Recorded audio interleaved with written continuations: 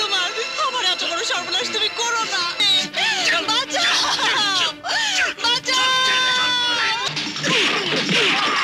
তবে কি এই সেই রমণী যার জন্য সাধু বাবা আমাকে শিকারে আসার জন্য স্বপ্নে নির্দেশ দিয়েছেন? স্বয়ং মহারাজাই আমাকে ওই লম্পটদের হাত থেকে বাঁচিয়েছেন। আমার পাওনা আজ তোমাকে কড়াই কন্ডায় শোধ করে দিতেই হবে। তাহলে দোহাই দোহাই আপনি আমাকে আর কটা দিন সময় দিন। আমি কথা দিচ্ছি। আমি যে করেই হোক আপনার পাওনা শোধ করে দেবই। না! কয়েকদিন তো নয় এক মুহূর্ত সময় তুমি পাবে না। এই হতভাগারা হা করে দাঁড়িয়ে দেখছিস কি? এই বুড়োটাকে বেঁধে নিয়ে চল। তারপর দেখে কি করে পাওনা আদায় করে নিতে হয়। আমাকে ছেড়ে দাও আমাকে ছেড়ে দাও। দোহাই তোমাদের দোহাই তোমাদের দোহাই তোমাদের। আমাকে ছেড়ে দাও আমাকে ছেড়ে দাও। বাবা! আমাকে ছেড়ে দাও। দোহাই তোমাদের দোহাই তোমাদের। আমার বাবাকে তোমরা ছেড়ে দাও।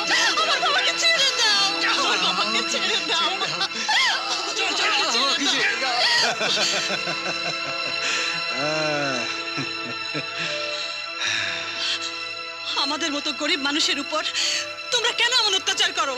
বলো কেন? কেন? আরে বাহ! এত সুন্দরী মেয়ে যার তার আবার চিন্তা কিসের? এই, বুড়োটাকে ছেড়ে দিয়ে এই মেয়েটাকে নিয়ে দোহাই তোমার তোমার। আমার এত বড় সর্বনাশ তুমি ছেড়ে দেওয়ার জন্য তো তোমাকে ধরিনি সুন্দরী হ্যাঁ? আমার পাওনা টাকার সুদ আসল আদায় করে নিতে হবে না হ্যাঁ? এই এই বুড়োটাকে বেঁধে রেখে মেয়েটাকে নিয়ে চল চল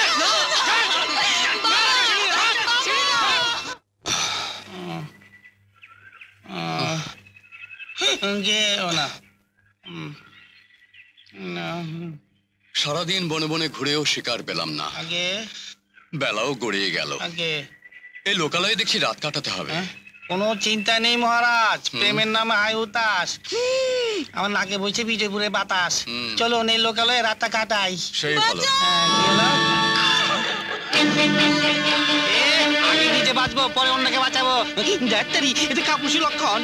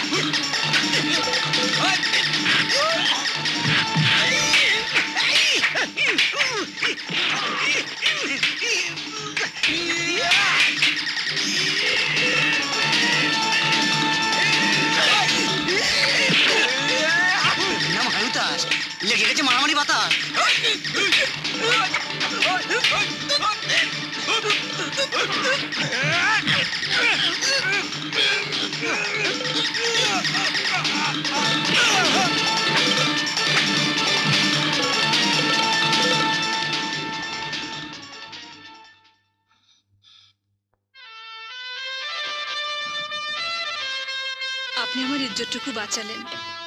কি বলে যে ধন্যবাদ জানাব? আপনি না এলে আমার যে কি হতো? আর কোনো ভয় নেই। তুমি নিশ্চিন্তে বাড়ি যেতে পারো।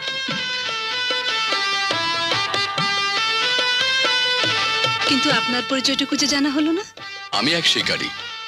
তোমার পরিচয়? আমি এক গরিব কাঠুরিয়ার মেয়ে। দিন আনি দিন খাই। আমার বুড়ো বাবা দেনার দায়ে জর্জরিত। কত সুন্দর কত ভীরু।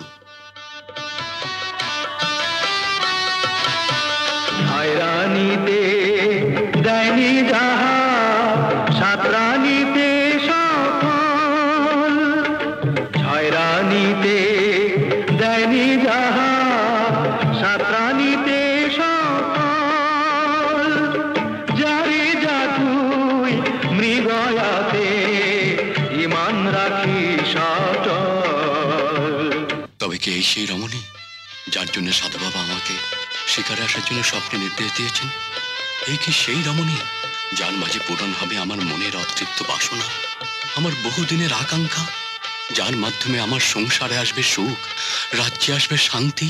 দিয়েছি গো, দিয়েছি। প্রেমের নাম হায়ুতাস। বেটারা পালিয়েছে, খেয়ে কিল লাতির তু পাইন না বাতাস। এবার চলেন মহারাজ। মহারাজ। হুম? তবে কি তুমি আলতু ফালতু মনে করেছ হ্যাঁ?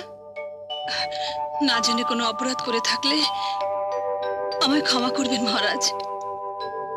ক্ষমা করার মতো তুমি তো কোনো অন্যায় করনি। তুমি নির্বিঘ্নে বাড়ি যাও। আজ থেকে তোমরা আমার আশ্রিতা। আসি মহারাজ। হুম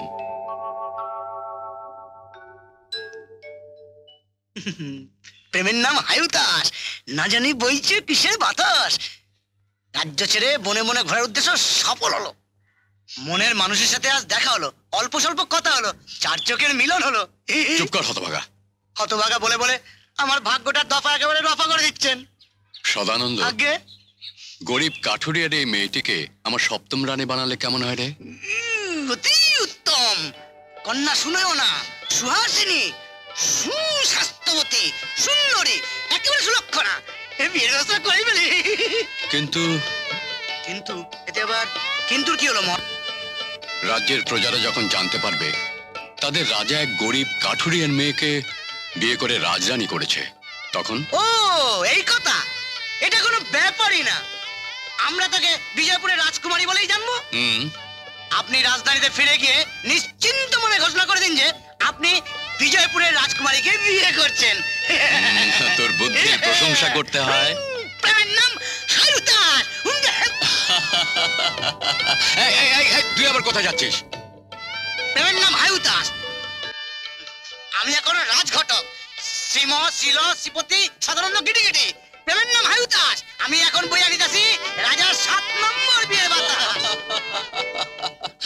বাবা বাবা তুই ফিরে এসেছিস মা আরে কেমন করে তুই এই রংপুরের হাত থেকে রক্ষা পেলি?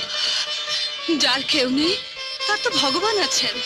স্বয়ং মহারাজাই আমাকে ওই লম্পটদের হাত থেকে বাঁচিয়েছেন। মহারাজ ভগবান তার মঙ্গল করুন। বাবা। আছো। তুই ওদিকে যা মা। যা। কে ভাই তুমি? এদিকে এসো।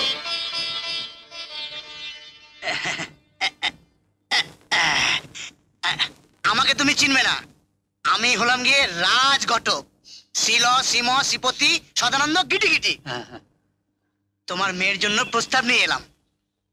বিলাসপুরের মহারাজা তোমার মেয়েকে বিয়ে করতে চান। কি বললে? মহারাজ আমার মেয়েকে বিয়ে করতে চান? তোমার মেয়েকে বিয়ে করবে না কি তোমার? আমি সত্যি শুনছি না স্বপ্ন দেখছি। কাঠুরিয়া জানে না প্রেমের নাম হায়ুতাস স্বপ্ন নয়, স্বপ্ন সত্যি, নীলের সত্যি। স্বয়ং মহারাজ বিয়ে করতে চান।